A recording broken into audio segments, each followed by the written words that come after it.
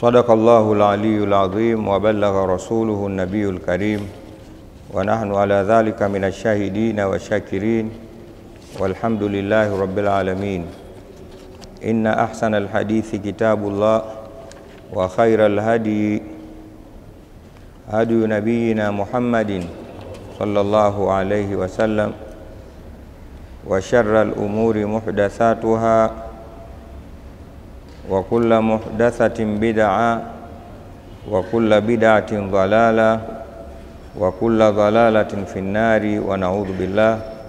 وأشهد أن لا إله إلا الله وحده لا شريك له وأشهد أن سيدنا وحبيبنا وشفيعنا ومصطفانا مولانا محمد عبده ورسوله صلى الله عليه وعلى آله وأصحابه حق قدره ومقداره العظيم. اللهم صل وسلم على سيدنا محمد. صلاة تخرجنا بها من ظلمات الوهم وتكرمنا بنور الفهم. وتوضح لنا ما أشكل حتى يفهم. إنك تعلم ولا نعلم. وأنت علام الغيوب. رب اشرح لي صدري ويسر لي أمري. واحلل عقدة من لساني يفقه قولي. أما بعد. اللهم اجعل القرآن العظيم ربيع قلوبنا وشفاء صدورنا وجلاء همومنا وغمومنا وذهاب أحزاننا وكفارة لسيئاتنا وزيادة في أعمالنا وأعمالنا وبركة في أرزاقنا ونور اللهم به بصائرنا وأبصارنا اللهم ذكرنا منه ما نسينا وعلمنا منه ما جهلنا وفهمنا منه ما قرأنا وارزقنا تلاوته آناء الليل والنهار على النحو الذي يرضيك عنا واجعله حجة لنا لا حجة علينا يا رب العالمين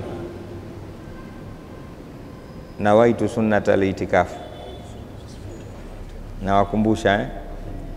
Ukifika msikitini usisahau kunuia sunna ya itikafu. Leo tulikuwa tuondokee wadhrib lahum mathalan ashaba qaryat idh jaaha almursalun, lakini nimepata katika simu yangu maswali kadhaa kama sita saba.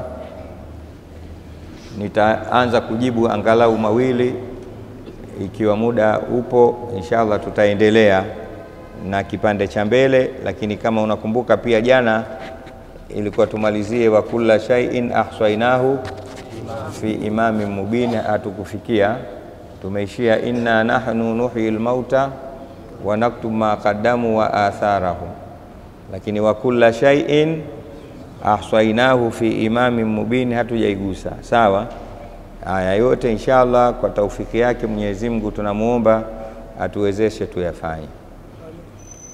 Swali la kwanza, kuna mtu aliniuliza hii aya tuliisoma nyuma, hivi ni aya ngapi? wajaalna min baini aidihim saddan wa min khalfihim saddan faakhshaynahum fahum la yubsirun. Aya ngapi ilikuwa?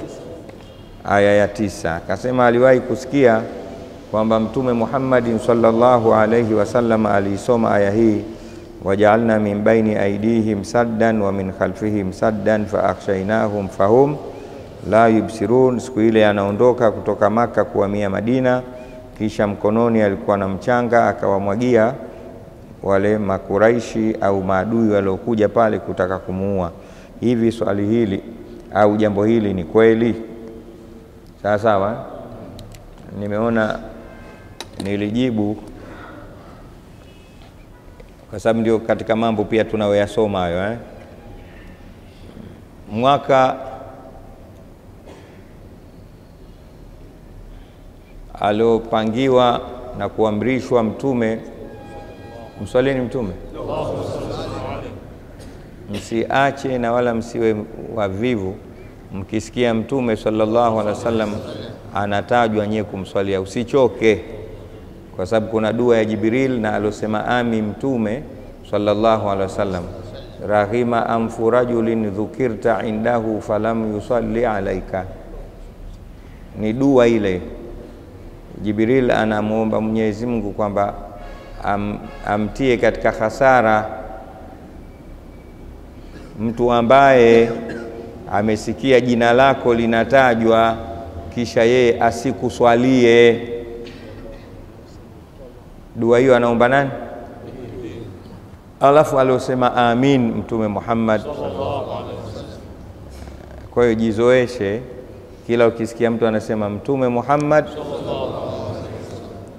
acha kabisa kudharau jina hilo, kwa sababu ndani yake ndio kwenye sharafu yako wewe na mimi na ulimwengu kwa ujumla. Lakini usipofanya hivyo, unaingia katika rahmul amfi, kulaanika. Umeelewa eh? Na wala usione tabu. Wale watu wengi wanaopingapinga mambo ya kuswaliwa swaliwa mtume wanakumbana na dua hiyo, wala usipata tabu.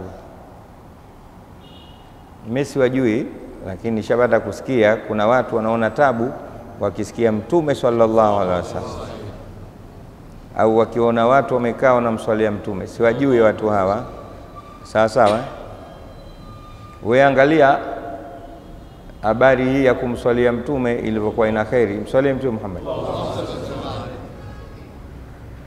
Ukiandika Allahumma salli wa sallim alayhi, uki katika karatasi kama hivi, utaendelea kupata yale yanayompata mwenye kumswalia mtume sallallahu alaihi wasallam mpaka yatakapofutika maandiko yale. Si mnaelewa? Yaani umeandika Allahumma salli wa sallim alayhi au Allahumma salli ala Muhammadin wa ala ali Muhammad, umeandika hivyo, muda wa kuwa maandiko yale yako hapo ulipoandika, ima kwenye karatasi au ukutani au kwenye jiwe au kwenye gome la mti, utaendelea kuyapata anayoyapata mswaliaji mtume sallallahu alaihi wasallam mpaka yatakapofutika yale maandiko. Ushapata kusikia hii? Basi kama umeipata haya, hujaisikia ndio hiyo, penda kumswalia mtume Muhammad sawa sawa. Haya, sasa ule mwaka aliopangiwa bwana huyu sallallahu alaihi wasallam kuondo, kuondoka Maka kwenda Madina, hivi nani anakumbuka ulikuwa mwaka wangapi? Nikiuliza hivi kama ujui katafute, ndo historia yenyewe hiyo. Kuna mtu mmoja nimekutana naye juzi, anajua Mandela kazaliwa lini, kafungwa lini, kafunguliwa lini, ana watoto wangapi, ili kuwaje? Mm. Aya, kwa hiyo mwaka ule lilipita bunge, nini afanywe Mtume Muhammad sallallahu alaihi wasallam. Walikutana watu sawa, eh?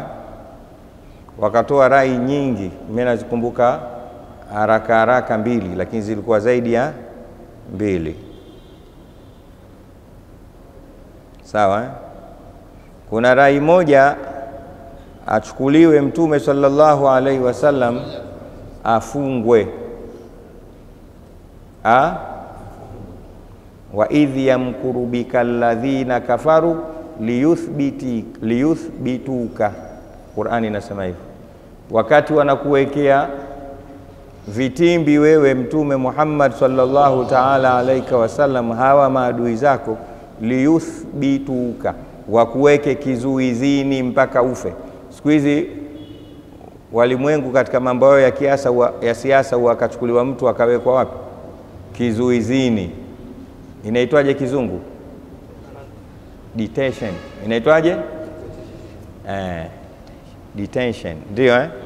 Utoki basi ile wameipata hapa, wa idh yamkuru bika alladhina kafaru liyuthbituka. Umeelewa eh? Kumbuka wewe Muhammad sallallahu taala alaika wasallama, pale jamaa zako walipoweka mkakati na kitimbi kikubwa cha kukuweka kizuizini mpaka ufe. Kwamba tufanyeje? Huyu tumkamate wala tusimuue eh? Tumweke wapi? Ha. Au liyukhrijuka, au wakutoe. Rai nyingine sasa, huyu tusimfungie, kwa sababu tukimfungia huyu jamaa zake hawato kubali hao, mtakuwa mm, vugu kubwa. huyu tumtafutieni njia atoke hapo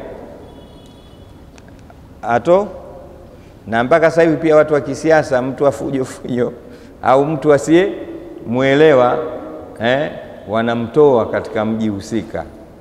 Mtu akianza eh, inaitwaje ile ngenje, akianza ngenje kugusagusa utawala anatolewa tena, wakati mwingine anatolewa kivizuri tu, anapewa anapewa ubalozi Malawi. Swalieni Mtume Muhammad. Mnaelewa nyie? Sasa tunasoma Qurani, tunasoma eh, au maneno yangu ndio, au liyukhrijuka au wakutoe. Basi hata hapa Magomeni watu huyu tumtoe huyu, unatafutiwa pahala Mbwinde, unaondoka mwenyewe hapa ukai eh, ukija hivi na tabu tabu. Qurani au liyukhrijuka au liyaktuluka, yangapi hiyo? Au wakuue kabisa. Umeelewa eh? Mwenyezi Mungu anamkumbusha Mtume Muhammad sallallahu alaihi wasallam, kumbuka jamaa walivyokuja na mikakati hiyo, wakufungie, yani wakuweke kizuizini, ubaki huko mpaka ufe, au wakutoe hapa mjini usiwepo, pelekwe pa kupelekwa huko uko wewe tu ndani. Ukitizama hivi, mtu anaongea lugha nyingine huku lugha nyingine, huna umjuae, yani unaanza maisha mapya mpaka ukija kuchanganya yale mambo kule yashapita, au wakuue kabisa. Umeelewa? Wayamkuruna wayamkurullah, wakafanya vitimbi na Mungu akawafanyia vitimbi vile vile. Walimtoa Mtume Muhammad sallallahu alaihi wasallam, alitolewa sasa wakati inapita rai hizi, ile ya kwanza ya kuwekwa kizuizini, katika kikao kile alihudhuria mzee mmoja mtu mzima hivi katika sura na vazi la watu wa maeneo yanaitwa Najidi, yanaitwa huo mji huko mpaka leo kunaitwaje? Najidi. Kwa hiyo alikuja kama mzee kutoka maeneo ya Najidi. Ile rai ya kwanza, huyu tumfungie, akisema hiyo sio rai hiyo sio rai. Wakaona mzee katoka mbali kwa ajili ya jambo hili, tuikubali. hii Basi tumtoe hapa, tumpeleke wapi? Akasema hiyo ndio sio kabisa, huko mtakapompeleka huko ataenda kujipanga. Huyu mtu ana ulimi mtamu, ana ulimi mzuri, ana ulimi fasaha, watamuelewa. Atakuja na watu wasiowajua hapa, watawatia mpute nyinyi. Oho, chungeni katika rai mbaya hiyo, ndo mbaya zaidi. Mnamtoa hapa mtu anaeleweka, akisema maneno yanaeleweka. Allahu akbar, mnajichimbia kisima, mtaingia wenyewe. Hiyo ndio mbaya zaidi kuliko ile ya kumzuia. Mswalieni Mtume Muhammad. Wakaambia sasa, sababu wewe tufanyeje? Akaambia rai huyu kumuua ku akaambia eh, huyu tukimuua watu wake wakali, kabila lake kali, hakutokuwa salama. Sisi tunataka huyu aondoke, ili hapa tuishi salama usalimini. Tukimtoa huyu kwa kumuua, hapa mapigano yataendelea. Banu Hashim hawatakubali. Akaambia, sikilizeni, mimi nitawafundisheni njia ya kumuua huyu huyu hauliwi na mtu mmoja, atauliwa na watu wote. Kivipi? Akisema taban, kwani kuna makabila na koo ngapi? Wakataja kuna makabila kadhaa. Akasema katika kila kabila, katika kila koo atafutwe kijana mmoja. Kama makabila yako ishirini, watoke vijana ishirini, alafu tumvizie mwanamme huyu akitoka apigwe pigo la mtu mmoja, wale watu ishirini ambaye kila mmoja anatoka katika kabila lake husika, avamiwe huyu Muhammad huyu apigwe na watu wale pigo la mtu mmoja. Jamaa zake hawatoweza kulipiza kisasi kwa makabila yote. Amna akili nini nyie? Fikra hiyo anatoa nani? Babu kutoka Najidi. Wakaambia ah, mzee ana akili huyu e, mzee wa busara, mzee uko vizuri, kama ndio hivyo cha kufanya, na mimi nipo. Wakafanya hivi waka ule usiku ambao ndio Mwenyezi Mungu alimpangia Mtume Muhammad sallallahu alaihi wasallam kuhama kutoka Madina kwenda kule, na ulikuwa ni mwezi kumi na mbili mfungo sita kwa tarehe kama aliozaliwa, sijui mnaelewa. Wengine wanasema ilikuwa Jumatatu kama siku aliozaliwa. Siku ile ndo alipanga usiku avamiwe, afanyaje? Avamiwe, alafu akutane na vita ile, afe Mtume Muhammad sallallahu alaihi wasallam. Jamaa wakiamka asubuhi, Muhammad kafa. Kauliwa na nani? Kauliwa na makabila yote, hawatoweza kupambana nayo, watakubali iwavyo itakavyokuwa. Usiku ule ndo wakaizunguka nyumba ya Mtume Muhammad wale vijana. Mtume Muhammad sallallahu alaihi wasallam akamwambia ndugu yake mdogo wake Ali ibn Abi, akamwambia sikiza Ali, mimi leo naondoka. Unaondoka? Sasa mimi naondoka, wewe na kuomba vitu viwili. Kitu cha kwanza, hawa Makuraishi maadui zangu hawa, pamoja na uadui wao kwangu, lakini cha ajabu wananipa amana na mali zao niwahifadhie, kwa sababu mtume alikuwa na sifa ya nini? Al amin al? Eh, al? Eh, mtume sallallahu alaihi wasallam alikuwa na sifa ya asadiqul amin, mkweli mwaminifu. Ule uaminifu haukuwa zuga, uaminifu ule ulikubaliwa mpaka na maadui zake waliokuwa na mpango wa kumuua. Kipindi chote wanamfanyia figisu figisu na mtima nyongo, lakini asubuhi akiamka, e bwana, nina elfu moja hii Muhammad niwekee.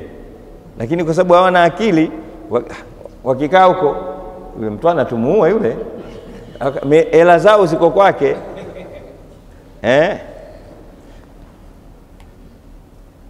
Ndio Mwenyezi Mungu makafiri aliwaita sharu dawabi. Sharu yani, unajua dawab ni jamu ya daba. Daba ni mdudu anayetembea kwa miguu minne au anatembea kwa tumbo. Kwa hiyo anasema wadudu wabaya kabisa, alladhina kafaru, makafiri, sio mimi.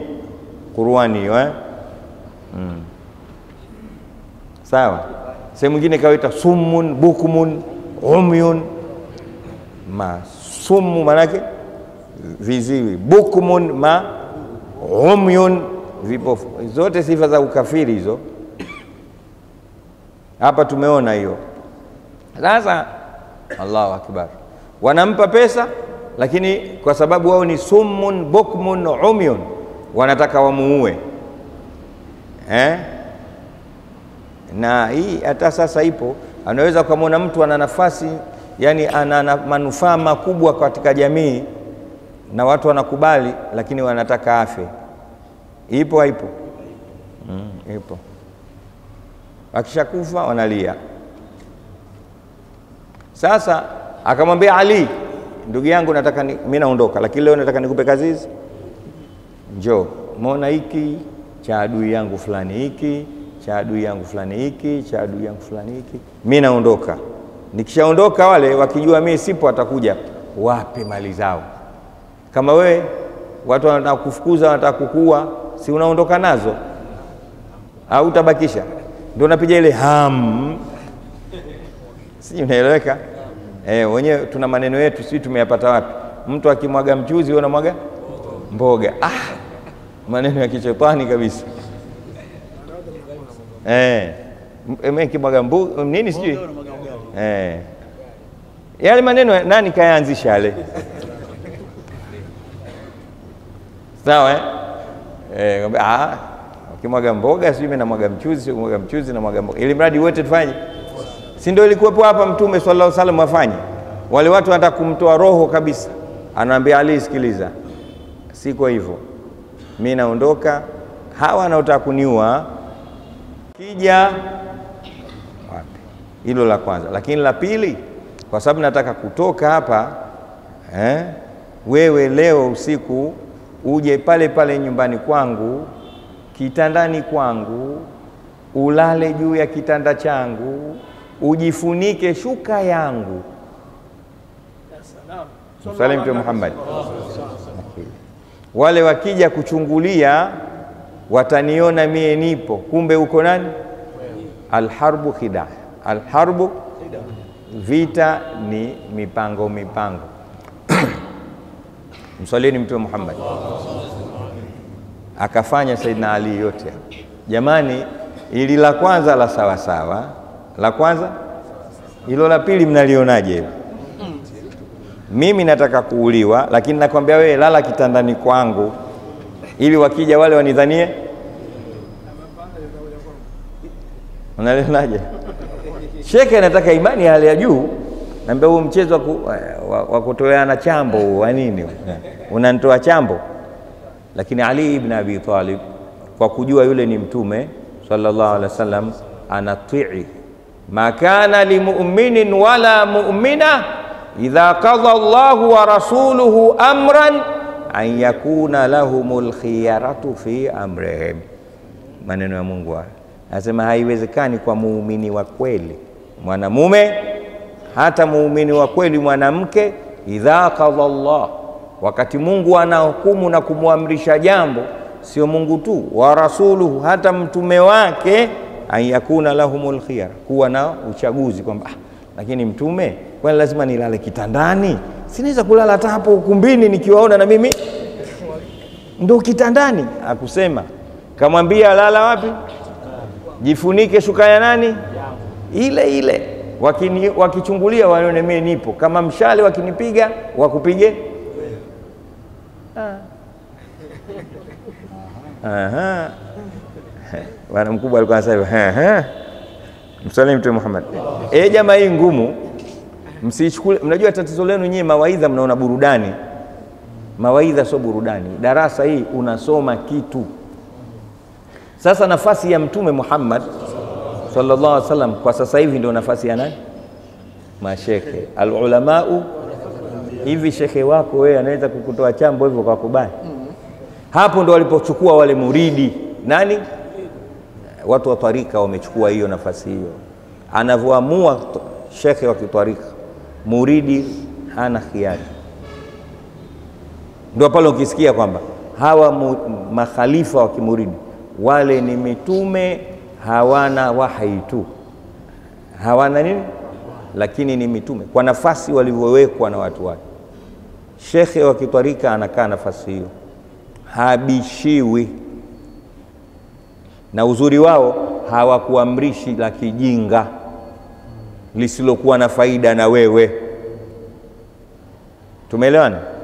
Na wala hamna baada ya pale ukasikia unyong'onyi, ah, shekhe leo nishawahi kukwambieni mimi hapa na narudia, labda mmesahau, lakini ukirudi katika hizi clip unaweza kukuta mimi nishachukuliwa na shekhe wangu mdogo Sheikh Abdallah bin Ayub, Mungu amrehemu, mdogo wake Sheikh Muhammad alinichukua twende sokoni. Twende wapi? Kufika sokoni, wengi mnaijua Tanga eh? Soko liko kati ya barabara ngapi na ngapi?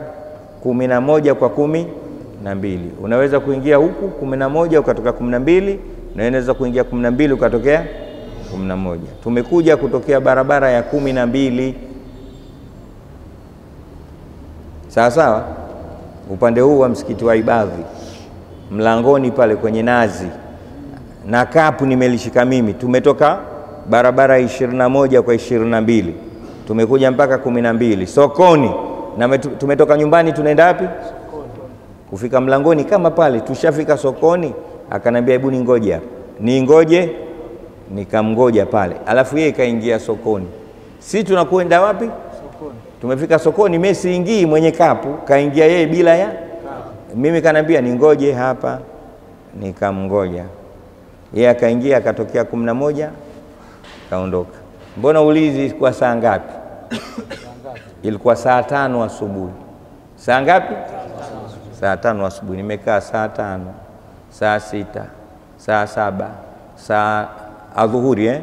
Eh, nikachomoka pa nikaswali pale Ibadhi, lakini nikarudi haraka haraka Sasa nilivyorudi nikawa na wasiwasi, katoka huyu mzee hajatoka, lakini nikakaa. Saa tisa amekuja mmoja katika vijana alikuwa analelewa naye mwenzetu, anaitwa Mbwana, anacheka hatari. Nini? ambaye bwana, toka twende. Vipi? ambaye shekhe, mzee yuko nyumbani. Yaani kipindi kile kile ulivyotoka naye pale pale karudi, si mmetoka naye karudi eh, alafu kakaa kimya. Sasa hivi tunaambia nenda kamchukue Walidi pale, nenda kamchukue mrudisha. Nikamwambia bwana, bwana huyu mzee kaingia mwejatoa. Sasa bwana yuko nyumbani na ndo kanituma mie. Sasa hizo nazi na ambia bwana, wewe turudi tu. Nikarudi nikamkuta barazani kaka, akanambia leo nimekupa certificate ya kusubiri leo eh, tulikuwa tunafundishwa kusubiri. Wewe ungekaa hatukwenda kwenye nazi wala ile neno tu nisubiri, sio hivyo. Mwaka tisini na mbili nisharudi hapa, nishaoa, nishaanza kuswalisha Kishangani. Shekhe wangu Shekhe Muhamadi Ayubu sasa mwenyewe kaja kijana mmoja anaitwa Burhani, sasa hivi anaswalisha hapo Mwimbe Chai na Isha na swala na tarawih anaswalisha hapo Burhani. Muulizeni kisa hicho. Yeye yuko Tanga, kaja kanambia, bwana, nimeenda Tanga kumwamkia shekhe, lakini kanaambia ukimwona Walidi, ukimwona mwambie inamwita haraka. Mimi nikatoka nikaenda Tanga na suruali zangu mbili na mashati yangu mawili kwa kujua kwamba naitwa mara moja nita nimefika. Asalamu alaykum sana. Ala, umekuja eh? Nimekutana na Buruhani kanambia nije unanita kama inshallah, basi tutaongea baadaye, tuta tutaongea baadaye, tutaongea. Ilikuwa Januari mpaka Januari, tutaongea Eh, ilikuwa kila nikimwona nikimwamkia, vipi upo bwana? Ambia nipo habibi, nipo inshallah, mpaka nikaona mm, maana chakuwa miezi mitatu minne, mwisho ngaa namkimbia mimi, sitaki nimwone kila wakati, ili asione namkumbusha nimeacha mke huko. msalimu Mtume Muhammad. Baada ya kukamilika mwaka kamili, akanambia ah, bado upo? Nikaambia nipo. Basi inshallah, usio na wasiwasi, mambo yako mazuri. Rabbana mfana bima allamtana, akansomea hii, nikaondoka. Aja niambia chochote. Tumeelewana vizuri? Ndio mie huyo. Sasa mashekhe wa kitwarika walikuwa hivi, na ukitoka ukipita katika hayo, ni mazoezi. Ukipita katika mazoezi hayo, ubabaishwe na kitu, unakuwa na subira ya kila kitu hata mtu akitaka kuongea na wewe unamsikiliza mwanzo mpaka mwisho, umkati njiani. E bwana, mimi nina haja zangu na wewe. Sawa bwana, sema we mpaka afike kituo cha mwisho, na wewe unaanza naye mwanzo mpaka mwisho. Sayyidina Ali karamallahu wajhu anaambiwa na nani? Na Mtume Muhammadin sallallahu alayhi wasallama, mimi leo naondoka, nakimbia hapa Jibril kashanipa habari kwamba leo mimi wamekuja jamaa wanataka waniue, wako nje. Sawa, lala hapa, najifunike shuka yangu. Wakiamua kuvamia chumbani, wakuvamie wewe. Saidina Ali akupinga, akalala tena usingi, anakwambia hakuna siku alilala usingizi mnono na mtamu kama ule. Kajiachia kabisa kitandani kwa Mtume na shuka ya Mtume. Allahumma salli sallim alayhi Tumeelewa naye jamaa waliokuwa kila akichungulia hivi, ah, yupo mwanarudi. Kumbe jamaa akishatokea huko kaja uh, Sayyiduna Abubakar na yule Adalilu Mahir na vipando vyao hao wameondoka. Sasa wakati wanatoka wana eh, Mwenyezi Mungu aliwatia usingizi wale wali, aliwatia usingizi na mapanga yao wamekuja vitani, wameizunguka na kuizingira nyumba ya Mtume Muhammad. Mwenyezi Mungu akawatia usingizi. Mtume sallallahu alaihi wasallam akatoka akiwasomea aya hii, wajaalna min baini aidihim saddan wa min khalfihim saddan faaghshaynahum fahum la yubsirun. Huko anamwagia mchanga, wanalala mashuzi yanawatoka pale huyo kaondoka zake. Kwa hiyo ni kweli aya hii ilifanyaje? Ilisomwa katika kadhia na kisa hiki. Wale wamelala mpaka asubuhi ndio wanaamka, sawa sawa. Kuamka yule mzee yule mzee wa busara yule akasema, no, alhamdulillah, na mimi leo nimelala. Wakamuuliza, kwani vipi? Akajisahau akasema, mimi tangu niumbwe sijalala. Sasa ah, huyu shetani akakimbia akabadilika katika lunga, hali yake ya kawaida akaondoka. Kumbe yule alikuwa ni Ibilisi. Huyu Ibilisi, audhu billahi minash rajim, huyu. Huyu huyu, audhu billahi minash shaitani, huyu Ibilisi, huyu huyu Ibilisi. Huyu alikuja katika sura ya mzee wa Najdi, na ndio akaja na fikra yenye akili zaidi ya kumuua kwa staili ile. Na Ibilisi, moja katika sifa zake halali lakini siku hii alifanyaje? Eh, ndio akasema ah, e, bwana, kumbe usingizi mtamu. Kwani wewe vipi sasa? Mimi nakwambia ni tangu niumbwe sijalala. Walikuwa wanajua sasa, ah, e, bwana, ndio ibilisi nini? Akasema ah, akapotea. Msalimu Mtume Muhammad. Na wewe lala lala kidogo upate kupumzika eh? Kuna mtu anafanya kazi masaa 24 la yanamu wala yarkudu, mipango ya ibilisi. Tumeelewana eh? Wajaalna min baini aidihim saddan wa min khalfihim saddan faaghshaynahum fahum la yubsirun, hawakumuona. Sawa. Sasa hivi tena waganga wanaitumia hiyo eh? wajaalna min baini aidihim saddan wa min sijui wao wamepata kivipi eh? Ijaza. Aya, tumepata faida kidogo hapo hmm. Swali lingine niliulizwa mara nyingi, kwa nini, na hili nalijibu mara kwa mara, lakini sio vibaya kurudia tena, maadamu limeulizwa, mtu ndo hajui huyo eh? Tumsaidie. Liko wapi? mm. Anasema keshawahi kusikia ikisomwa Yasin wal Qur'anil Hakim, sawa eh? innaka laminal mursalina ala siratin mustaqim ala kwa sin ala siratin mustaqim.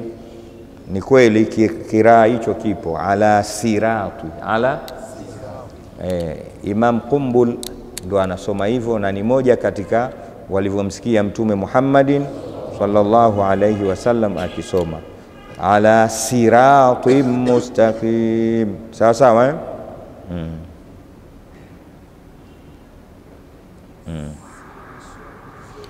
Kwa faida tu, sikuulizwa hiyo. Mimi nasema unaweza ukasikia mtu anasoma Yasin wal Qur'anil Hakim. Kwa nini? Kwa idghamu. Kwa nini? ahkamu tanwinin wa nunin taskunu inda alhijai khamsatun tubayanu idharun idghamun ma'al ghunnati au bighairiha walqalba walifara wau. Kuna kitu kinaitwa idgham nini, na harfu zake idgham ni ngapi? Sita. Mbili wanasema ni idgham kamil na nne ni idghamu naqis. Sawa eh?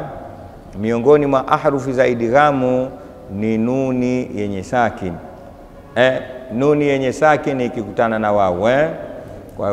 Kwa hiyo hapa anadigamisha. Wapo wasomaji wanaosoma Yasin wal Qur'anil Hakim, lakini wengine wanadhihirisha Yasin wal Qur'anil Hakim. Kwa hiyo kuna Yasin wal Qur'anil Hakim, sawa na kuna Yasin wal Qur'anil Hakim, sawa sawa eh? Hili sijaulizwa, lakini nimeona kwa sababu bwana kaulizia juu ya qiraa, na ipo fani inaitwa fanul qiraati. Qur'ani imeshuka juu ya herufi saba. Maana ya herufi saba, kuna visomo saba tofauti na vinasomwa bondeni. Wapi? Bondeni kule, usomaji tofauti tofauti kwa namna saba kule bondeni. Inshallah tunausomesha. Karibuni eh? Haya, niliandika haya maswali eh. Swali lingine nimeulizwa, nilijibu kutokana na aya yetu ya jana, inna nahnu. Kwa nini sisi? Kwa nini inna nahnu? Mara nyingi anasema tunaona sisi sisi, na nyie mnaofasiri Qur'ani mnafasiri neno. Sisi sisi, kwani Mungu wengi? Na tunavyojua sisi, qul huwallahu Allahu. Mbona hapa Mungu mwenyewe anasema sisi wengi hawa? Hapana, ni mmoja, lakini hizo ni moja katika njia za usemaji. Sawa, wanaita polite language. Po, yani usomaji, usema, usomaji wa kujikubwiza wa busara. Sometime inakuja nuni inatumiwa kwa ajili ya mtu mmoja tu, lakini litaadhimi nafsi. Hata wewe unaweza ukatumia neno sisi. Mfano mimi unaniuliza, bwana, saa ngapi unakuwepo hapa Kichangani? Mimi naweza kwambia sisi, kawaida yetu tunakuwepo hapa Kichangani baada ya swala ya alasiri kwa ajili ya darasa sisi, lakini nimejikusudia sawa sawa eh? Sisi bwana, mpango wetu sisi ni kadha wa kadha. Ile sio kuonyesha kwamba miungu ni, ni wengi. Umenisikia ndugu yangu eh? Lakini hiyo ni fani ya lugha ya Kiarabu katika somo la nahau. Katika somo la kuna herufi nne zinaitwa anaitu au naaitu, umeelewa eh? au naati. Hizo hizo unaweza ukaziita naati au anaitu au naaitu, sawa, zinaitwa ahruful mudharaa. Ahruful yani kile kitenzi cha mudharii present continuous tense katika lugha ya Kiarabu huwa kinaanzishwa na moja kati ya herufi hizi nne kwa kuzingatia pronouns. Umeelewa? Nani fa'il? Kwa hiyo ana adhhabu, anta tadhhabu, sawa. Huwa yadhhabu, nahnu nadhhabu. Nimebadilisha hapo mwanzo tu, kuna a ta ya na. Sasa wanakwambia a lilmutakallimi, ta lilmukhatabi, ya lilghaibi, na liljamii, sawa au limuadhimi nafsi, lilmutakallimi wa maahu ghairuhu, lakini pia linakuja limuadhimi nafsi.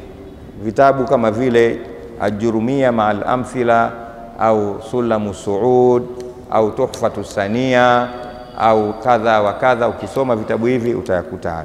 Bondeni kule tunasomesha mambo hayo, karibu sana eh? Kwa hiyo na hapo inna nahnu zimekuja hizo zote eh, nuhyi kwa ajili ya kuonyesha ukubwa wake Mwenyezi Mungu Subhanahu wa Ta'ala. Anaweza kusema inni ana uhyil mauta, inni ana uhyil, lakini kasema inna baada ya inni, inna na akasema nahnu badala ya ana, akasema nuhyi badala ya uhyi.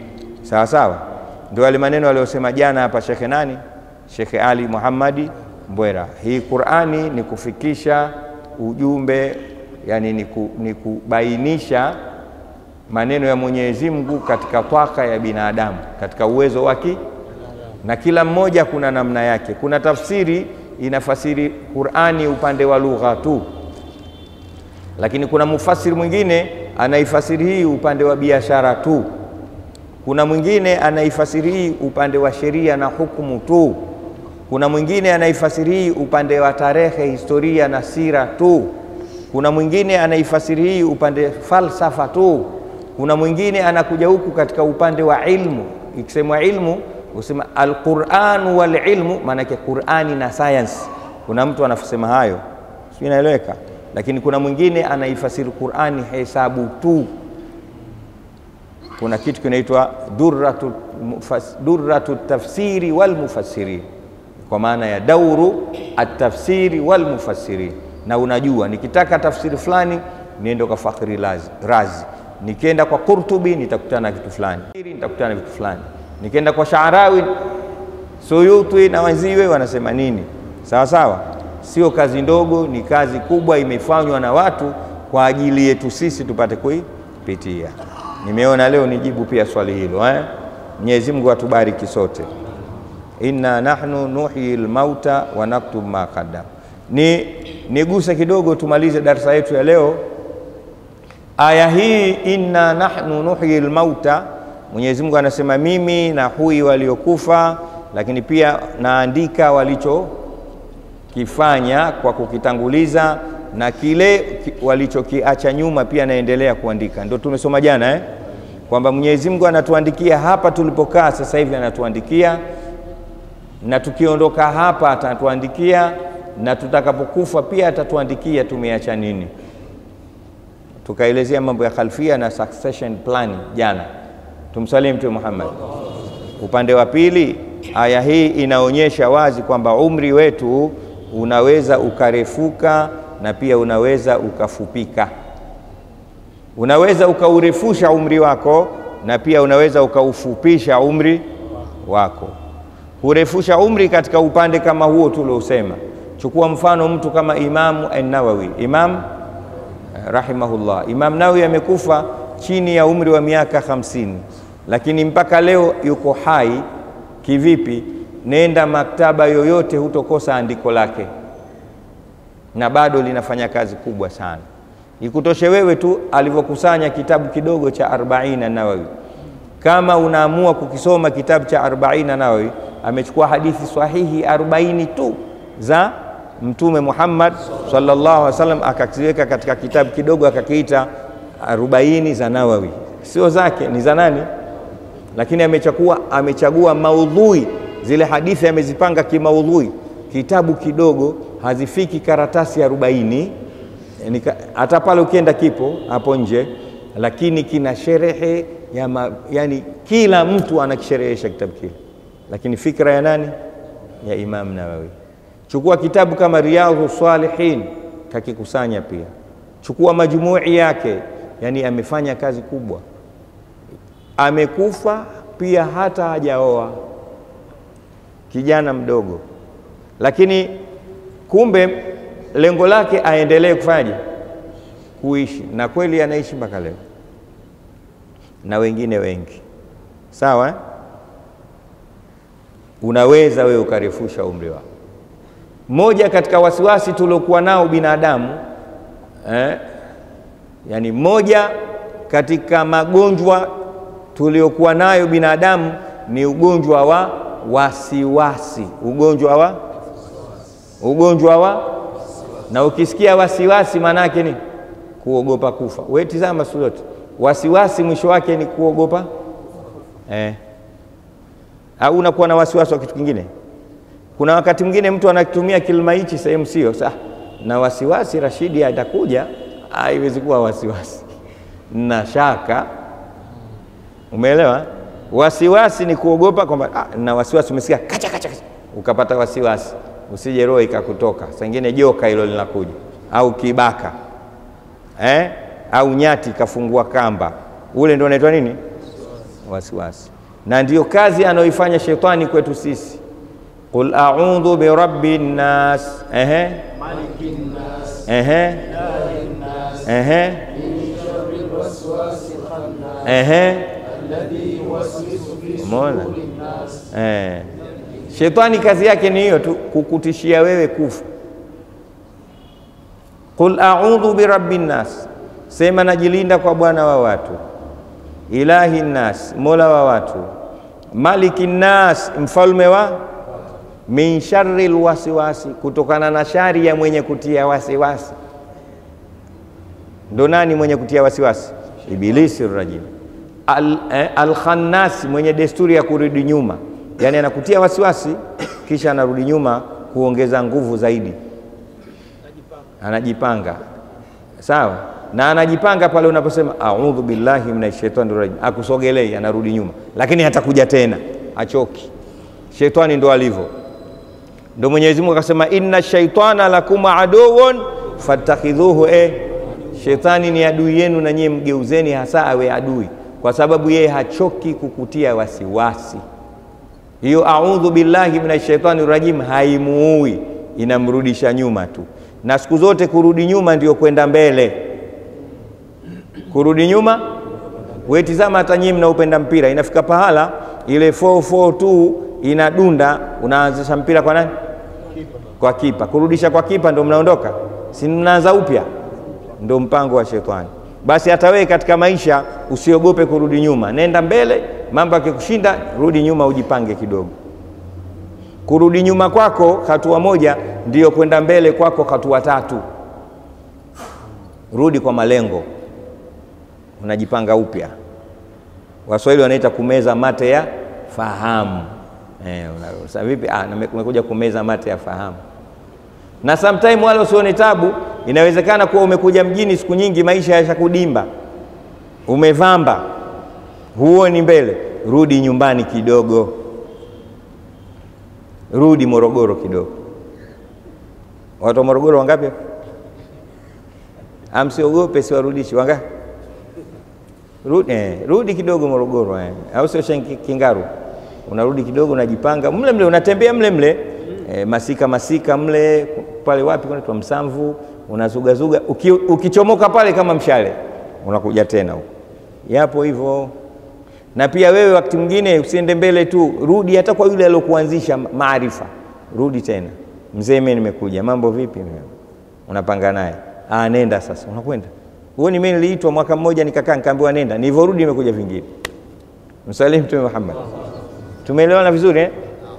Sasa huko tuache, ni darsa nyingine huko, naweza kenda ikanichukua muda, na mimi nataka darsa ishe mapema leo. Ugonjwa tuliokuwa nao mkubwa sana ni wasiwasi wasi. Na ugonjwa huu tumerithi. Kuna magonjwa hayana dawa, ni magonjwa ya kurithi. Hata madaktari hawa leo, daktari hayupo Ah, yupo alhamdulillah, Mungu akubariki. Hata madaktari hao wanajua, kuna wakati watakupa dawa tu, lakini anajua kama ugonjwa huu ni wa kurithi. Miongoni mwa magonjwa ya kurithi kama ugonjwa wa mifupa, wenyewe wale wanaita bone infl inflammation. Madaktari, ima ugonjwa ule mfupa unavimba, hauna dawa, au unasinyaa kwa kukonda, hauna dawa, au unachakafuka. Wapo watu wamezaliwa hivyo Madaktari wote duniani wanajua, akiwepo yule kule anajua kwamba ugonjwa huu hauna dawa, na ukenda hatakwambia, atakwambia meza vitamin C. Sasa shekhe, fanya sana mazoezi, usile nyama, umeelewa? Usile, tembea sana kwa miguu. Ukiona hivyo ujue na ngoma hiyo haiponi. Na watu wengi mimi nafanyaga mazoezi, naona naambia tayari daktari kishamwambia hivyo. Kama sio daktari kumwambia yule afanye mazoezi ng'odo, sawa. Haya, sio topiki yangu hiyo. Kwa hiyo ugonjwa wa kurithi, miongoni mwa magonjwa ya kurithi, wazimu. Kuna watu kichaa kichaa kichaa, kuna siku mtu mzima, kuna siku mwingine anakuja unamwona tu kwamba huyu leo dishi limecheza. Umeelewa? Na kuna siku dishi linatoa picha vizuri, anaendelea na mambo yake, lakini kuna siku maalum dishi lile chenga. Ugonjwa maalum huo wa kurithi. Tumeelewana eh? Kama vile tabia, zipo tabia za ku za kurithi, ujeuri, ukarimu, tumeelewana na vitu kama hivyo. Sasa tumerithi sisi ugonjwa wa wasiwasi. Wasiwasi wenyewe kuogopa kufa. Hakuna asiyegopa kufa, anaweza tu akazimua ule ugonjwa wake kwa kutaka kufa aende peponi lakini hata yule muuaji yule jambazi kazi yake kuua watu, lakini yule inafika pahala anafaje? Anajikinga na kukimbia. Anaogopa nini? wakati yeye kishaua watu thelathini. Ugonjwa huu sisi tumeurithi kutoka kwa baba yetu Adam alaihi salam. Ameambukizwa na nani? Na Ibilisi huyu. Fawaswasa ilaihi shaitan qala hal adulluka ala shajarati lkhuldi wa mulkin la yabla Ibilisi kamtia wasiwasi mzee Adam, akamwambia Adamu, umeumbwa na umepewa utukufu wote, na Mungu akataka tukuheshimu kwa kukuamkia, kwa kukusujudia. Waliokusujudia wamekusujudia, mimi nimegoma, nimeingia katika lana Sawa sawa, lakini nataka nikwambie kitu, pamoja na utukufu wako wote, labda Mungu hajakwambia wewe utakufa. Adamu aliogopa sana siku hii. Nini? Utakufa mzee. Sawa, wewe ndo mkubwa wetu, khalifatun fil ardhi. Sawa, tumekusujudia, lakini utakufa. Alipata wasiwasi, nitakufa, utakufa.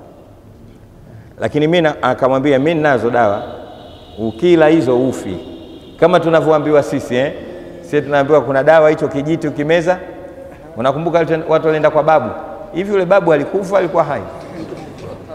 Sasa yule babu alikuwa anatoa vikombe vya uhai, yeye alikufa eh? Mimi Mungu ananiachaga hoi hapo tu. Yule babu alijaza watu wa nchi hizi Kenya, Tanzania, Uganda, Burundi, Zaire na marais walikuja, aliwapiga vikombe, aliwapiga vikombe, yeye alikunywa.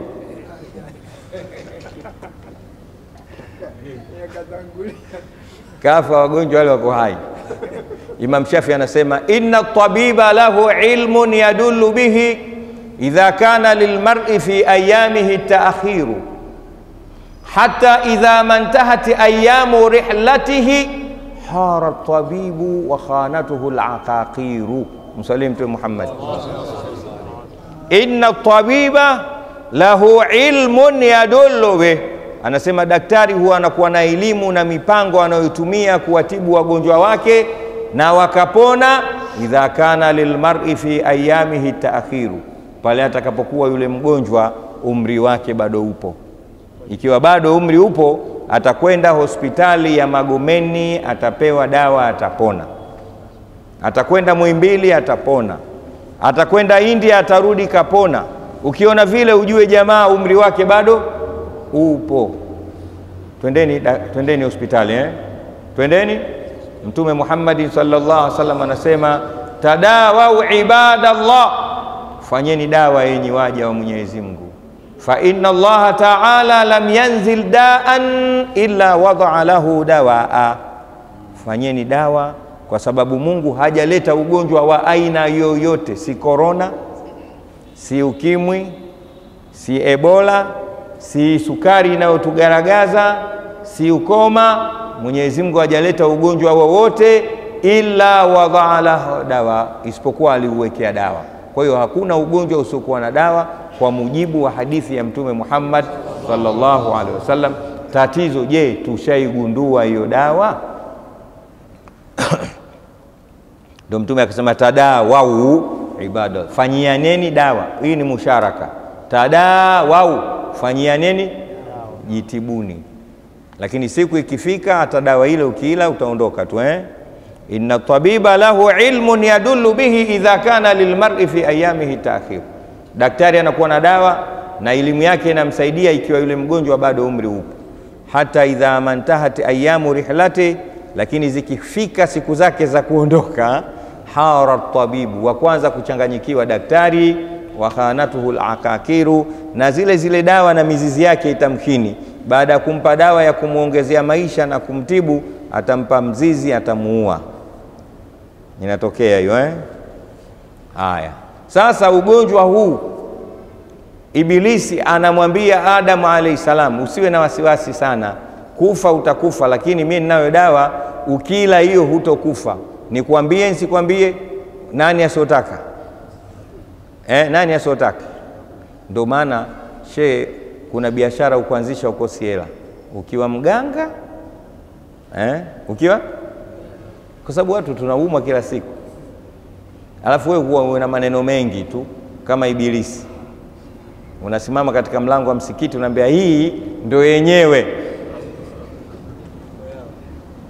Na siku hizi dawa nyingi, lakini zilizokithiri zaidi dawa za ugonjwa wa kiume. Unajua ugonjwa ule? Juzi juzi nimetoka Ijumaa, nimetoka kuchelewa, nimemkuta mtu pale mlangoni anauza chaji. Sasa mimi nikajua chaji ya simu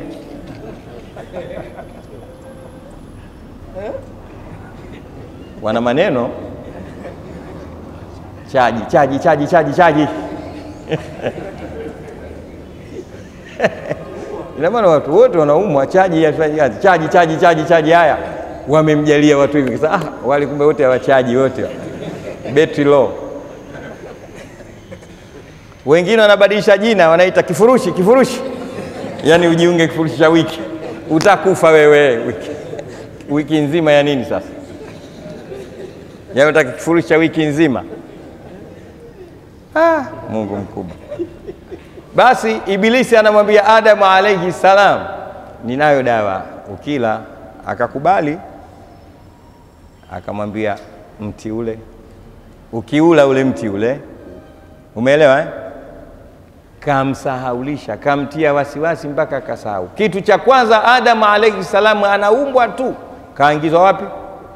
Kaingizwa wapi? Kama ndio pepo hiyo tutakokwenda pepo nyingine, wala yahumuna Mungu mwenyewe anajua, lakini alimtia katika bustani zuri, lina kila kitu. Kamwambia hapa, wakula minha raghadan haithu shituma, wewe na mkeo kula minha raghadan, kula jiachie, ndo raghadan, jiachie, haithu shituma, unavyotaka. Kama unakula umekaa, unakula umesimama, unakula unatembea tembea, matunda yote haya yako. Wala taqraba hadhihi shajara, lakini usiukurubie mti huu fatakuna min adh-dhalimin, utakuwa katika wenye kukosea na kujidhulumu nafsi zao. Hii ndio amri ya kwanza anayopewa Adamu alayhi salam. Hakuambiwa kuswali, hakuambiwa kufunga, hakuambiwa chochote. Kwanza alikatazwa. Chukua falsafa na maana. Kwanza ili ufanikiwe, katazika kabla ya kutekeleza. Kutekeleza ni rahisi kuliko kukatazika. Sisi tunafeli katika kukatazika. Mashaallah, kuswali tu wote tunafata amri ya kuswali, lakini tukitoka hapa swala inatukataza. Inna swalata tanha anil lfahshai wal munkar. Je, swala inatukataza hayo machafu? Kuswali tunaswali, hali swala tanhana ani lfahshai wal munkar. Kwa hiyo kutii ni kitu rahisi sana. Kaa chini, unakaa eh, inuka, unainuka, lakini usiende kule. Kutokwenda kule ni ngumu wenyewe anakwambia alinsanu harisun lima munia. Alinsanu, mwanadamu siku zote anapupia alichokatazwa. Ukitaka mtu afanye kitu, mkataze kile kile. Ukiambia usiende mpirani, basi tofauti na ukimwambia nenda mpirani. Ukimwambia nenda mpirani, inawezekana asende, lakini kwambia bwana, usiende mpirani bwana, sitaki. Shekhe siku moja atatoroka, ataenda. Ndio binadamu tulivyo, matata matata vaisi versa. Alinsanu harisun limamunia, mwanadamu ana pupa ya kukifanya alichokatazwa siku zote.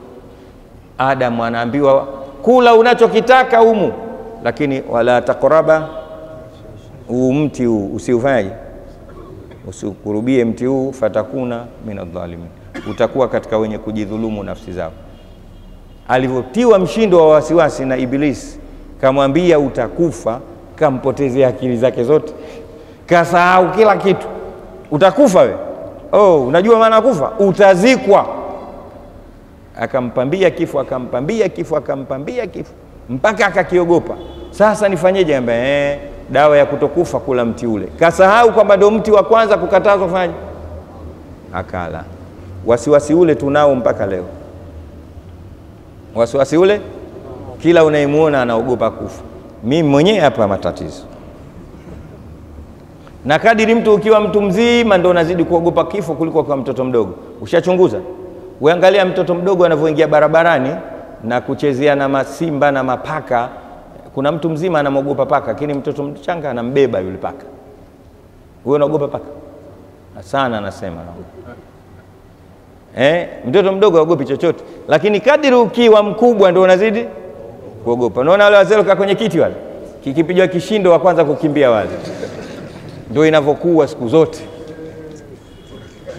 Mungu mkubwa sana. Unajua kwa nini? Mwisho ni kutamu.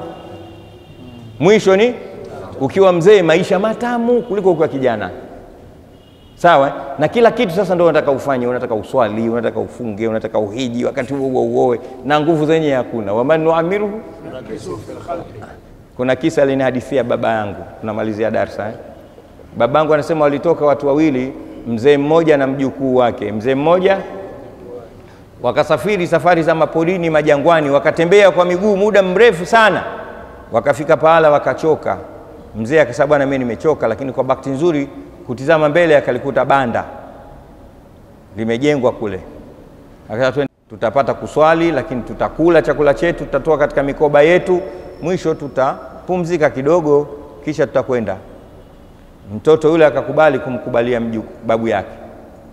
Walipofika pale waka, kitu cha kwanza wakatawadha, wakaswali. Walipomaliza kuswali, wakatoa chakula, wakafanyaje? Wakala. Sasa inakuja zoezi la kupumzika kidogo, ili safari ifanyaje? Iendelee. Sasa wanaanza tu kupumzika, Mwenyezi Mungu akaleta upepo ukavuma, ukalitikisa lile banda gigigigigi, kama linataka kuangu. Eh, mzee wa kwanza kuinuka, mzee wa kwanza eh, eh, vipi? Akaambia babu, hapana bwana, lina nini tu hilo linafanyaje? Kaambia ulioni hilo linataka kuanguka. Sasa hapana, alianguki. Yule mtoto anamwambia alianguki, hilo linamsabihi Mungu. Akamsomea aya wa in min shay'in illa wa yusabbihu bihamdihi walakin la tafkahuna tasbihahum, kwamba kila kitu kinamsabihi Mungu ila nyie wenyewe amjui tu tasbihi zao. Babu, usiwe na wasiwasi, hilo hapo linamsabihi Mungu, ndio kigigigigi. Babu akasema najua kama linamsabihi Mungu, lakini wasiwasi wangu lisije likazidisha khushui likaamua kusujudu na sisi tubu.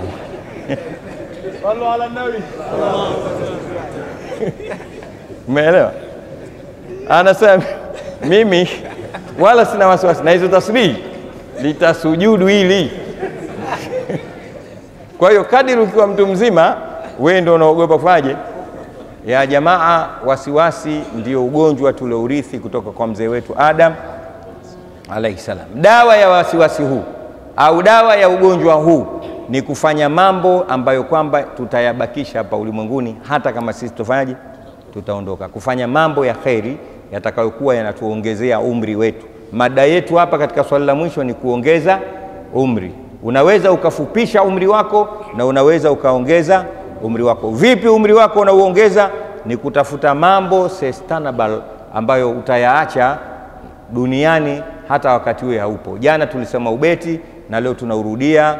Imam Shafi anasema yafnal ibadu, yafnal waja wote unaowaona hawa wote, yafna watakufa, wala tafna swanaiuhum, lakini hayatokufa matendo yao.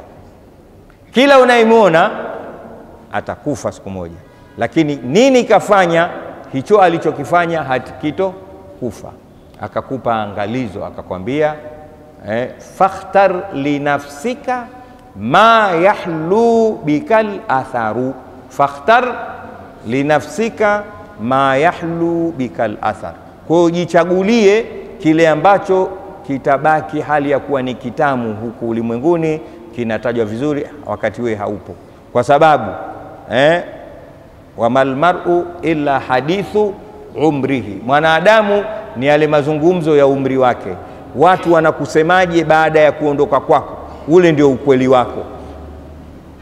Wanasemaje kuhusu wewe baada ya kufa kwako? Jitahidi, jitengezee hadithi nzuri, ndio fakun hadithan hasana liman waa, fakun hadithan hasanan liman wa.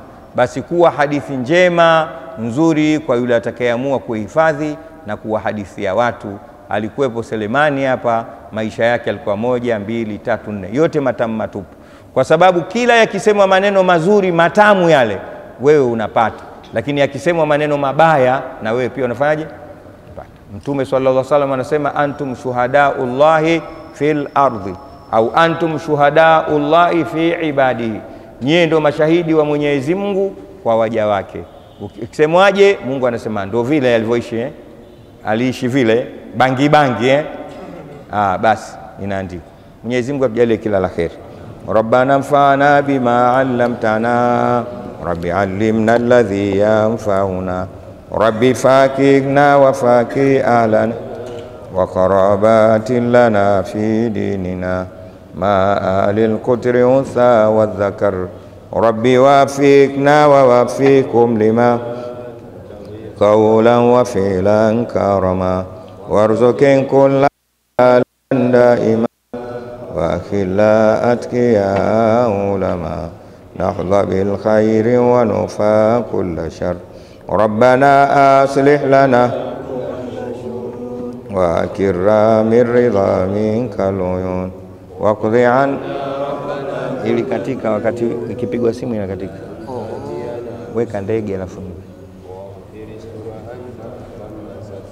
وصلاة الله تعشى المصطفى من دعانا والوفاء بالكتاب فيه للناس وعلى الآل الكرام شرفا وعلى صاب المصابيح الورى ما سري